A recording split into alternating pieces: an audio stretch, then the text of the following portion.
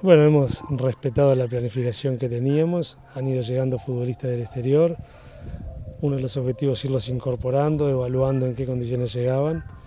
Y, bueno, estamos este, en esta parte previa a elaborar la lista final y todo este tipo de entrenamientos este, internos como partidos mm, sacamos conclusiones y de ellas vamos a ir sacando un poco la evaluación para este, armar esa lista.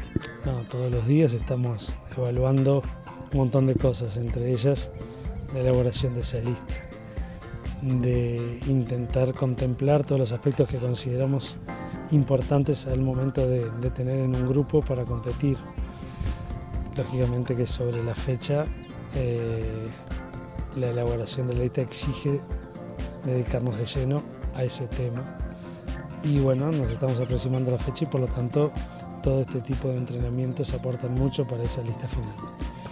Dos grupos parejos, rivales este, que podemos nada más que hablar de la historia de las selecciones, pero cada grupo es diferente, son generaciones diferentes a, las que han competido anteriormente.